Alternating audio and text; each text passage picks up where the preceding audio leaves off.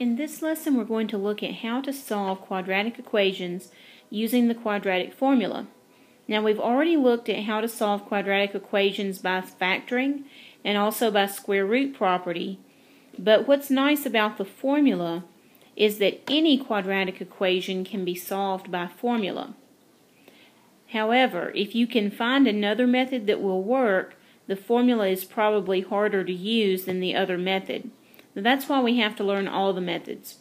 Sometimes factoring is best, sometimes square root property is best, and sometimes the formula is best if nothing else will work. Um, so I'm going to show you eventually how to determine which method is the best to use, but right now let's just focus on learning how to use the formula. So here it is. For a quadratic equation that's in the form ax squared plus bx plus c equals 0, we can pick out the a, b, and c, and then they make this formula. x equals negative b plus or minus the square root of b squared minus 4ac all over 2a. So it's really important that you understand that it's all over 2a and not just the radical part. It's all over 2a. So now you know where the a, b, and c come from. The a is the coefficient of the x squared term, b is the coefficient of the x term, and c is the constant when everything is on one side of the equal mark. And you need to memorize this formula. There is absolutely no substitute for knowing the formula. There's no way to solve these problems if you don't know the formula, and it won't be given to you on the test. So you really need to spend a few minutes and memorize the formula. So here's our first example. x squared plus 5x plus 3 equals 0. So if you look at a quadratic equation and you decide it cannot be factored, and you decide that the square root property is not a good thing to, to try, then you can start working on A, B, and C. So in this case, A is 1, and B is 5, and C is 3. So now we're going to put x equals negative b plus or minus the square root of b squared minus 4ac all over 2a and we will plug our A, B, and C straight into this quadratic formula. So here I've got negative B plus or minus the square root of B squared minus 4 times A times C all over 2A. And this is what I do when I have to use the formula. I plug it in and I don't substitute anything or do any calculations in my head. I just plug all the A, B's, and C's in where I can see how everything fits together. Then we go back and simplify. So 5 squared is 25. Minus 4 times 1 times 3 gives us minus 12. And it's all over 2. Now for the next step, 25 minus 12 makes 13. And in this case, this is all there is to do because the 13 cannot be simplified, and that means that the whole fraction cannot be simplified. So this is the final answer. And if we write it out as two separate answers, we get negative 5 plus square root of 13 all over 2, and negative 5 minus square root of 13 all over 2. Here's a new example for us. 4x squared equals 2x plus 7. So in this case, uh, we're not ready to pick out a, b, and c because we have a we have our x squared term on one side of the equal mark and our other two terms on the other side. So let's get all of our terms together on one side of the equal mark. And notice when I bring a term from one side of the equal mark to the other, it changes sign because really what we're doing is we're subtracting 2x from both sides. We're subtracting 7 from both sides. So when it shows up over here, it shows up with a negative sign. Now, A is 4, B is negative 2, and C is negative 7. So when we plug into the formula, we'll have x equals negative b plus or minus the square root of b squared minus 4 times a times c all over 2a. So negative negative 2 plus or minus the square root of negative 2 squared minus 4 times 4 times negative 7 all over 2 times 4. So for our first simplification, we'll have negative negative 2 makes positive 2. Then under the radical, negative 2 squared makes positive 4. Negative 4 times 4 makes negative 16. And negative 16 times negative 7 makes plus 112. And in the denominator, 2 times 4 makes 8. Now, under the radical, we need to combine 4 plus 112, which gives us 116, and we've still got 8 in the denominator. Now, in this case, 116 uh, contains a, a factor of 4. So, we need to simplify that radical. 116 is 4 times 29. So the square root of 4 is 2 and the 29 is still under the radical, and the 8 is still in the denominator. Now, if you'll notice, 2 and 2 and 8 can all be divided by 2. So 2 divided by 2 is 1. 2 divided by 2 is 1. And in the, in the denominator, 8 divided by 2 is 4.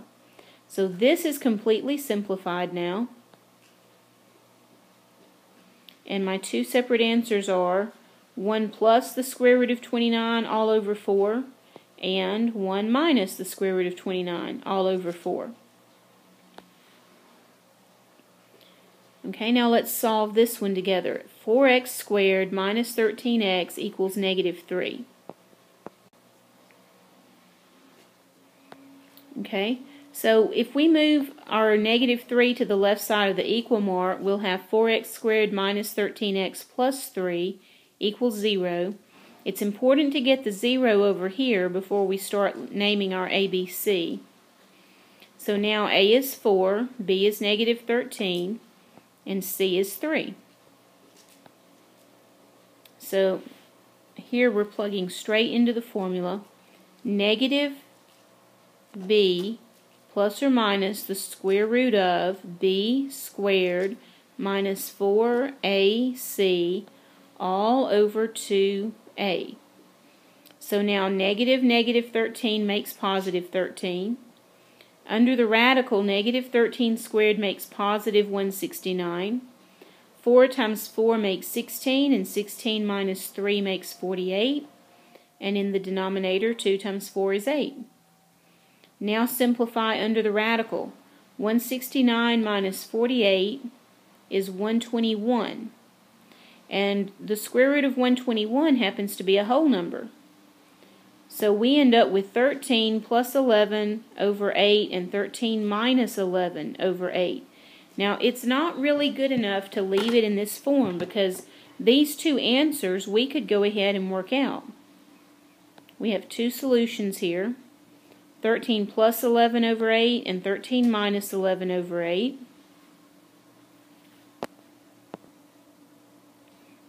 Okay, now we need to simplify these. 13 plus 11 is 24, and 24 over 8 is 3. And for the other one, 13 minus 11 is 2, and 2 over 8 is 1 fourth. So our two answers simplify down to 3 and 1 fourth. Now, I will call your attention to the fact that if we had tried to factor this, we would have easily been able to factor it. And I'll just show you right here. We know that it's a trinomial, so it's going to make two pairs of binomials. So uh, 4x squared, we could try 2 times 2, but let's try 4x times 1x.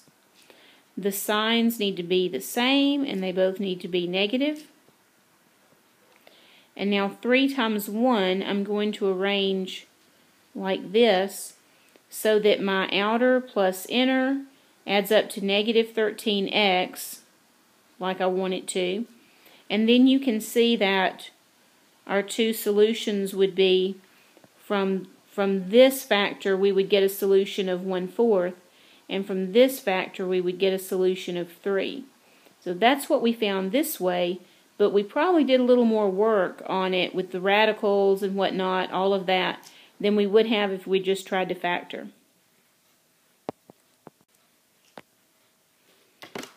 Okay, now I want you to learn to uh, use a calculator to check your work. So let's look at this example. 4x squared equals 2x plus 7. And I believe we've already solved this one previously, and we came up with 1 plus the square root of 29 over 4 and 1 minus the square root of 29 over 4. So if I wanted to check these answers, what I could do is use a calculator to get a decimal approximation for each answer. And so on your calculator, I want you to really try this. So actually get your physical calculator out and punch buttons here with me. So I want you to put in 1 plus uh, square root of 29 and get an answer. And divide that answer by 4. And you should get approximately 1.5963. Now, the more decimal places you keep, the closer your answer will get to checking out exactly. And if we do 1 minus square root of 29 all over 4, we'll get negative 1.0963. These are our two uh, answers that we think are correct. And now we're going to plug them into our original equation So I've copied down the original equation, but instead of x, I put in my 1.5963. So if we do uh, 1.5963 squared and then multiply that answer by 4, we get about 10.1927. And if we do 2 times that number plus 7, we get about 10.1926. Now those answers are the same all the way to the fourth decimal place, so they are actually close enough for us to say that both sides of the of the equation are the same. And let's make sure the other answer checks out. So I've got 4 times our other answer equals 2 times that number plus 7.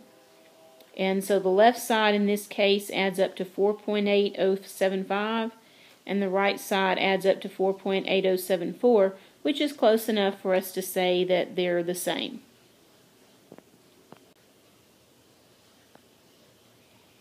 And let's do one more example together. I've got x squared plus 8x plus 18 equals 0. So a equals 1, b equals 8, and c equals 18. Here's our formula. Now, x equals negative b plus or minus the square root of b squared minus 4ac all over 2a and we will simplify under the radical. 8 times 8 makes 64. 4 times 1 times 18 makes 72. And in the denominator we get 2. Now 64 minus 72 is actually negative 8. And now we need to simplify this radical because we learned earlier, if you remember, that we cannot leave negatives under the radical, so we'll need to simplify this. 8 is 4 times 2, and the square root of the 4 will be 2, and the square root of the negative will be i. So the square root of the 4 is 2, and the square root of the negative is i, and there's still a 2 under the radical. Now notice that 8 and 2 and 2 can all be divided by 2. So if I do that, 8 divided by 2 is 4. 2i divided by 2 is 1i.